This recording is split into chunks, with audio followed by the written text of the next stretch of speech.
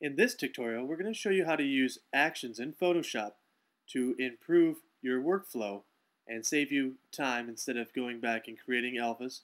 Or you can always create your own actions so every time you create a cutout and bring it back in, the action automatically works for you. So in Photoshop, I'm going to go over to my Actions menu and I've created an alpha channel, which is going to be an action for us. So what I want to do here is go down into my actions palette and hit the play button. And what this is going to do is temporarily shut down Photoshop, bring up our plugin Vertus. This is allowing us not to even go through the stage of the pull down menu for the filter. It's automatically bringing it up for us, saving us more time.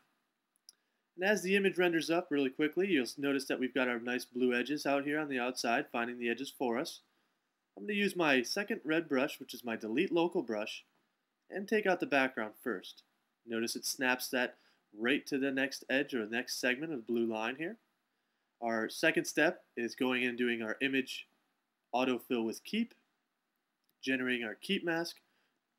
Green is our keep, red is our delete. I'm going to go down here on the very bottom and I'm going to go and turn off these object edges. And I'm just going to go ahead and use my blue blend tool located underneath your red pens to knock out the background between the hair.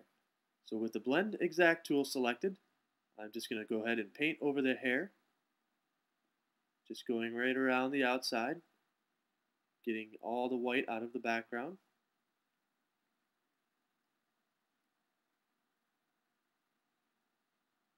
And right along the side of her face here, and maybe that little spot there.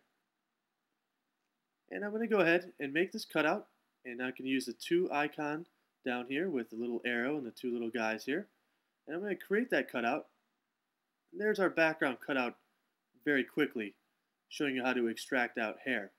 Now, if I do a file, save, and apply, you'll notice when it brings it back into Photoshop, if you look at your layer menu, it's already going to have your alpha channel made for you automatically due to creating an action in Photoshop.